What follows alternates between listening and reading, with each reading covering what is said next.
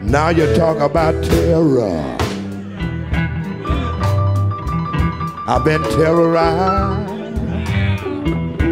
all my day. Hammer all my day.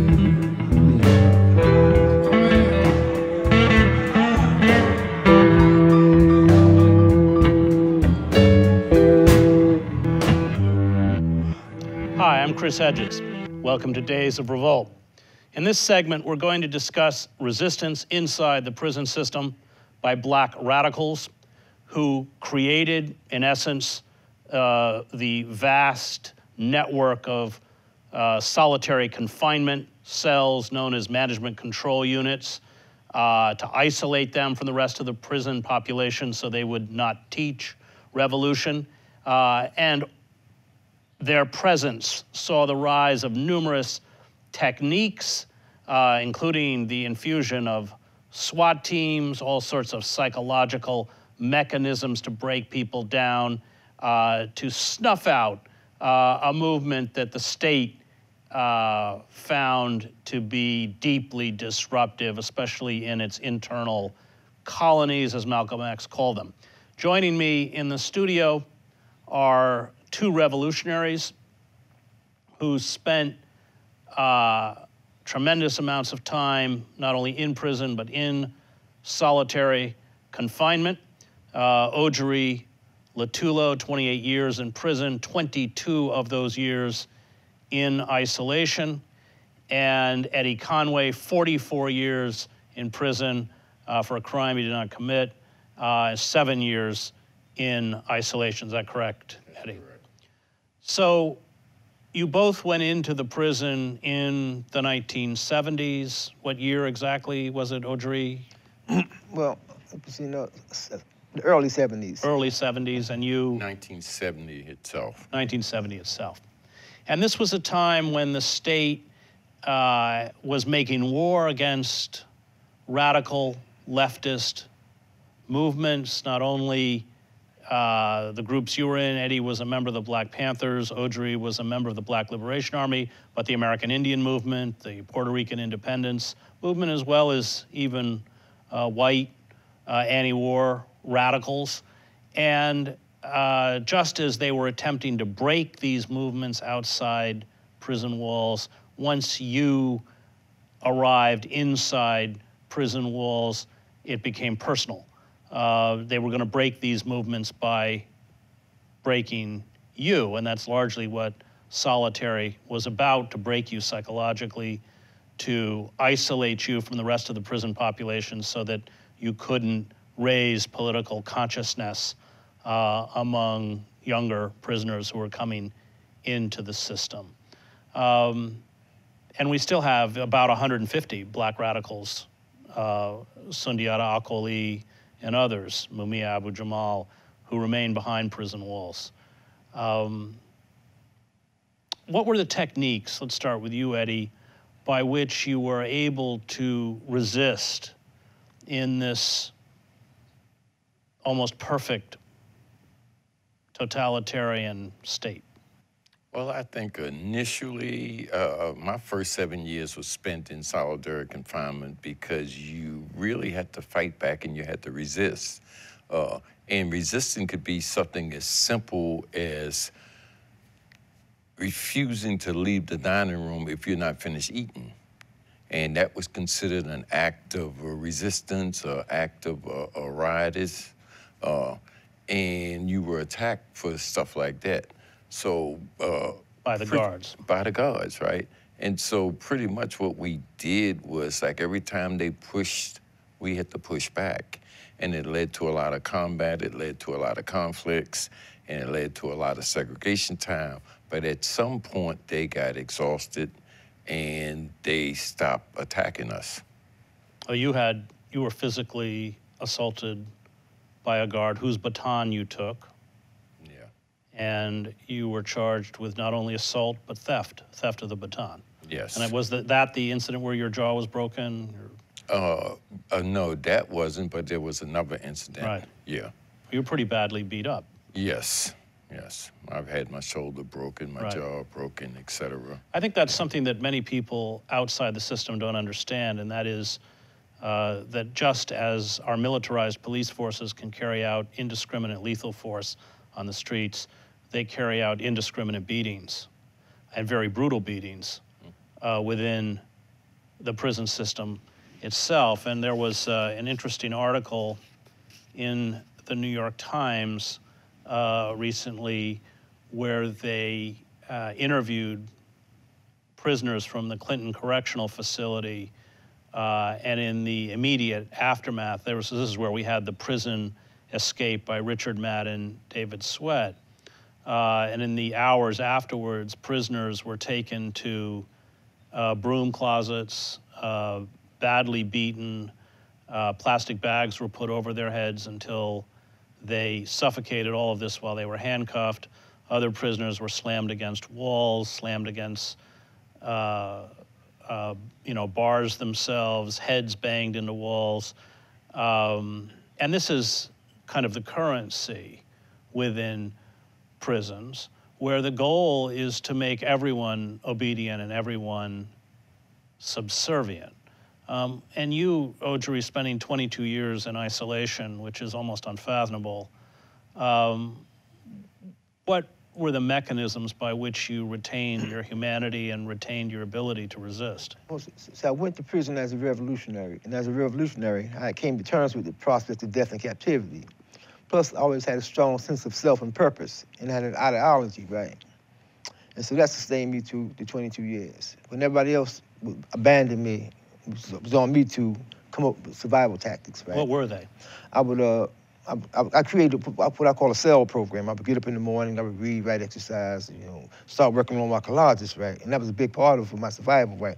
You know, creating collages, right, about political commentary, what, what's going on. This with- is where I've seen them. It's where you would rip up newspapers and magazines and write political messages. and all I had was magazines and, and glue, Elmer's glue. And, I, and then I would do a lot. I, I would do a lot, a lot of outside interviews with people on a national, international level, right? You didn't wear a prison uniform. Yes, I did. Wa- Wasn't there times when you were? Oh, oh, oh, at, at one time, you, could- you could wear civilian clothing. No, but weren't you naked in the cells? From Oh, well, like one time they put me in a um in a in a mental health unit for That's six what it was, days. They held me incommunicado in the mental health unit for six days. They took all my clothing, right. left me standing next to a puddle of uh, rainwater. And the rain outside would rain into the cell. And it was freezing cold. The light stayed on 24 hours a day. I was under camera watch. You know. Uh, Eddie, I know that you attempted to organize prisoners. Uh, maybe you can f- explain a little bit about that. What what you did w- once you got into the prison system. Well, okay, let me just go step back one second, but I will answer that. Uh, I think their goal was was not the obedience and subservience. I think their goal was to dehumanize every prisoner, because you have a dehumanized prisoner, then you can control him and the environment. Uh, uh, one of the things that was happening was we were getting paid nine cents an hour, so I organized a United Labor Prison Union. Union.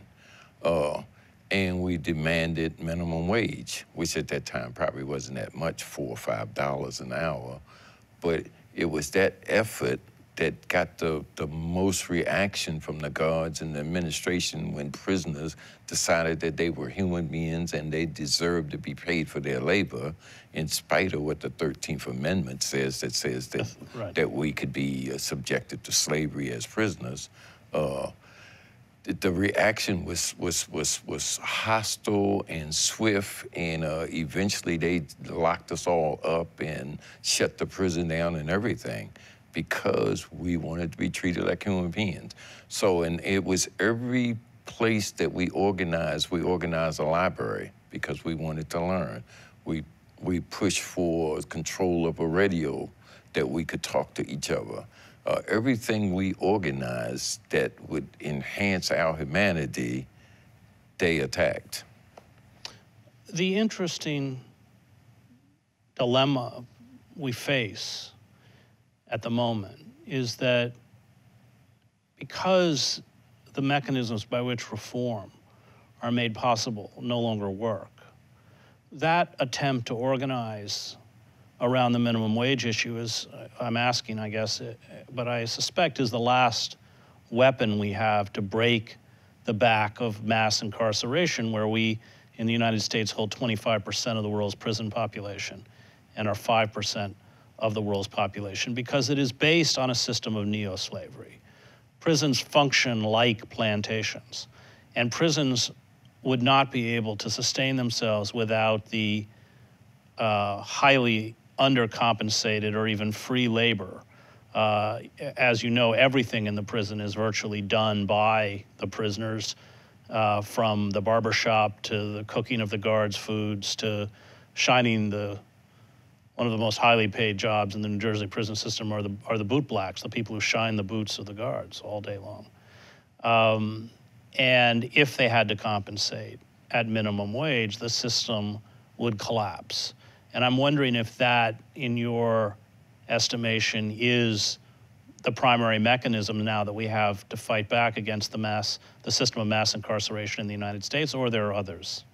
What do you think, Ojore? I think uh, we need to organize. That's, that's the only solution to the problem at this point, Inside and outside. inside and outside. But organizing around minimum wage? No, no, no. Organize against oppression. Because like inside Chin State Prison, you don't have any jobs. Right. It's a supermax prison. Supermax, no. It's just it's lockdown. Right. So you have to And organize. so it's lockdown means 23 hours a day. Well, no, no, for prisoners in the management control unit. Right. It's 23 hours one day and you know one, day out. Right. So you have to organize. And that's to be done on a political level. And that's what the administrators are afraid of. What does that look like? What's that? I mean, what do you mean organized? Organize. You have to educate people about the realities of their oppression? Of their oppression, and the fact that we don't control the economics in our communities, right? And you have to give people hope, reason to struggle, something to struggle for. But right? isn't the only mechanism prisoners have by which they can fight back our work stoppages? But it's no work inside of Chin State prisons, so so we have to organize on another level. Right. But you know, I'm, uh, and and I'm, I'm going to have to disagree, uh, and I'm disagreeing because even in those supermax, ultramax, we have one here in Maryland. When when you take away the prison labor, it stops working. In the in the supermax, even though guys are behind those doors 23 hours, somebody's in the mess hall cooking the food. Right. Somebody's in the laundry washing the, the stuff. Somebody's in the commissary bagging up the, the stuff. Somebody mops the floor. Somebody brings the shower in, in, in Cumberland, Maryland, say, for instance, you don't get out your cell, you go in a little telephone booth shower that rolls from cell to cell. Somebody rolls that shower down there. Somebody cleans it later on. Somebody picks up the trays. See, all of that stuff is work that we do that sometimes we don't recognize that if we stop doing all of that work, the prison system Well, will they also, isn't it true that in a supermax prison like Trenton, they'll bring in minimum security prisoners to do this work, They do that. These- But they- still prisoners doing the work. They used to bring them in from Jones Farm. Right. They would, they would bring, the, they would cart the food in. Right. I mean, I'm assuming neither of you have faith in the system, the legislative system or the electoral system to bring about reform or not? No. no, No. way. So what is the, how do we destroy the system of mass incarceration? I mean, what is the mechanism? I'm, I'm definitely for prisoner labor unions. You, if you and and they have tried this in other states. If you organize labor unions and you demand minimum wage, it takes the money off of the prison Right. industrial complex, and they can no longer afford to incarcerate people like that. Right. They keep them long term like that because below the maximum levels, in the medium and the minimum levels, we're making uh, uh, furniture, we're making license tags, we're making clothes, we are. Uh, uh, McDonald's. yeah, we're training dogs. We're doing all sorts of that's things right. that's creating the Fish. wealth. Raising uh, fish farms. Yeah, raising fish farm. And at the same time, we are supplying a way in which the guard forces make a living. Right. You know, so if you take the money away from that, then they'll start letting people Well, out. if you look at the 2010 work stoppage in the Georgia state prison system, that cost the state of Georgia, which I think only lasted, if I remember correctly, nine days, cost them millions of dollars. Um, Yeah. And that I, goes back to what Ojore said. Uh, It, that's not going to work until you raise the consciousness of those inside the prison. Um, but we have seen now decades of attempts on the part of the liberal establishment to institute reforms, both in terms of policing and in terms of mass incarceration, and the situation on the streets and inside the prisons have only gotten worse. what they do is they, they grant reforms, and then when everything become like peaceful, they take the reforms back. I, I don't know what avenue we have left. I mean, the largest influx now of prisoners are women. Uh, you're seeing a larger and larger increase of poor white people coming into the prison system as they run out, in essence, of black bodies by which they can put in cages. 75,000 prisoners in this country live in isolation. Uh, Britain puts three to four people a year in isolation. Uh, and that kind of sophistication of control, and I know you went through it, Ojore. I mean, maybe you can talk a little bit about it, but you know, it's not just a matter of being in an isolated cell. It's a matter of being woken up in the middle of the night, extreme hot, extreme cold. I mean, uh, I know you've been have spoken about being moved. You know, They used to wake up, wake us up every other morning with attack dogs. The security guards would be in riot gear. They was, we were stripped. We were like, we would like back out the cell naked, and we had attack dogs pulling on the leash, straining at our private parts. It was moves from one cell to another cell, and just repeat the same thing every other morning for months on end.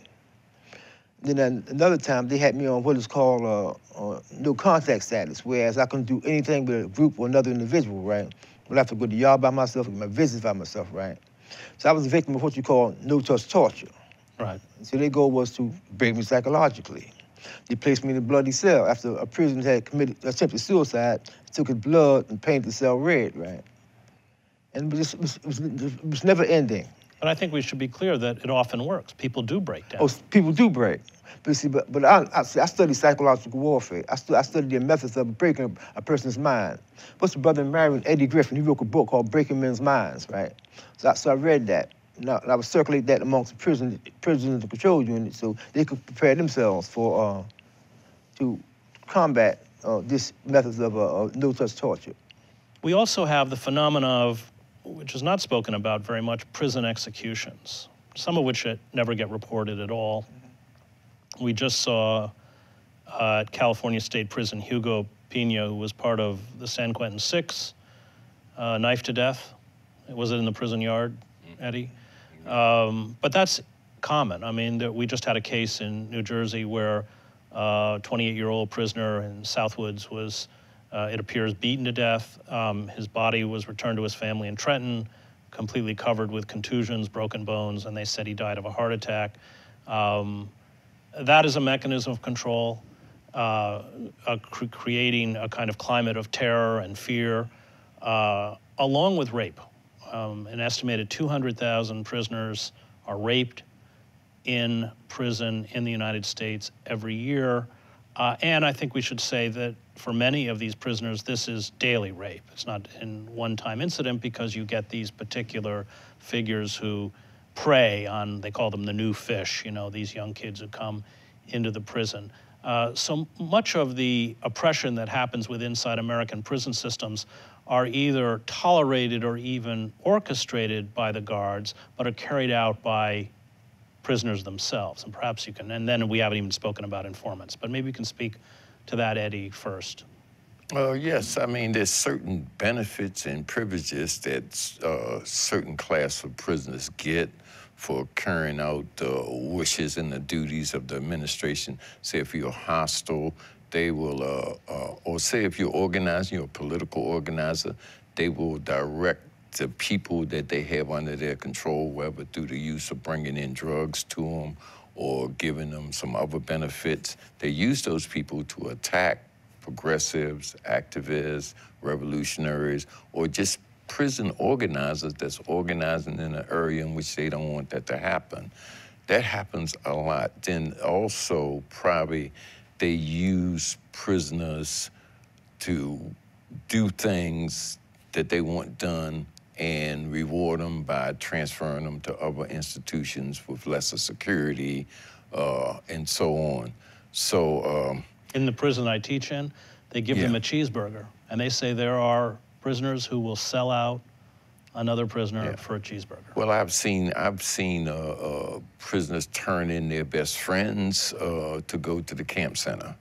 You know, uh, sometimes friends that they've known for 10, 20 years, and they will snitch on them, inform on them so that they can be transferred out, and their friend will end up in the supermax or maximum security and, and with a longer sentence.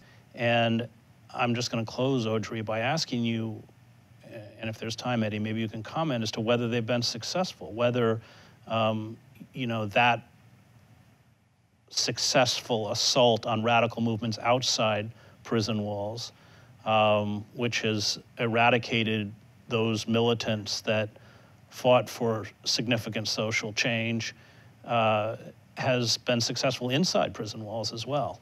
It, it, it has up to a point because I've seen people who came came into the control unit strong leave weak. I've seen people who came in weak became strong. So a lot depends on the individual, on what, what composite, what, what his internal composition, But in, but in terms of a radical consciousness, do you think the prison system has been successful in essentially keeping the majority of the prison population in darkness? Yes, but mainly because like the, the, the revolutionary element, they removed them from the general population. Right. So they don't have anybody to show them another way or give them that particular book they might need to read. Which is why you were 22 years in solitary. Exactly. He told me, I told him that I haven't done anything. He said, you could if you wanted to. Right, And that's a thought crime. right, right, But uh, again, they, they, isolation is effective in terms of breaking some people. right. Well, it's also effective in, in quarantine, keeping radicals quarantined. Most definitely. But you know, the other side of that too is that that uh, a lot of activists have been developed in prison as a result of them putting us in the prison system. A lot of mentors have been been developed, and it's it's the change in methodology of organizing, but organizing still go on. But the one thing that also shows a failure of prison is that the the rebelliousness of the street organizations. There's a, a, a tremendous amount of street organization participation in the prison system, and they're rebelling. And they're rebelling and they're resisting, and they resist the guards as well as they resist society in general. Without direction in most cases, but still rebellion. I mean, the question we have to ask now is whether the state has pushed people on the streets and in the system, and prisoners are leaving prison now in debt, um, that they've just gone too far, and that we may see uh, the rise of a new revolutionary movement born out of this repression uh, and hopefully informed by uh, your own revolutionary activity. I don't know if you see this coming or not. I, I see I see it coming within the walls of Trenton State Prison. I see it coming within the confines of Rahway State Prison. Prisons are, don't have a choice. They said, what are we supposed to do? You took everything from us. You know, what, what's, what's left? What to organize and rebel? But if that element is not there to feed them, it becomes more difficult. To feed them that political knowledge, you know, to organize them in terms of a, a phone strike or things of that nature, right? Right. And and and we're definitely, as in America, on the a verge of a change. I mean, there's a new kind of sense of urgency to make changes, to challenge, uh, uh, whether it is environmental or whether it's in, in, integration uh, or whether it's uh, uh, the trans communities or whether it's Black Lives Matter or Occupy or so on. There is a sense, or, or, or against the uh, national security state, there's a sense that things are wrong and this is not working and it's not working in the interest of the majority of the people. And people are starting to question that. And the questions eventually will lead to answers. They might not learn from our example but they'll learn from reading and studying and so on. Uh, but uh, and i think that's why you have such a surveillance state uh, developing because it's not just now people on the ground, but it's also uh, the greater uh, population of uh, white people also. Right, because they didn't stop with poor people of color. Yeah. Once they finished with them, um, they've turned on the poor working class and even the Yeah. white middle class. They don't have any self-imposed limits. Yeah. Um, and so let's hope they follow your example. Thank you very much, and thank you for watching Days of Revolt.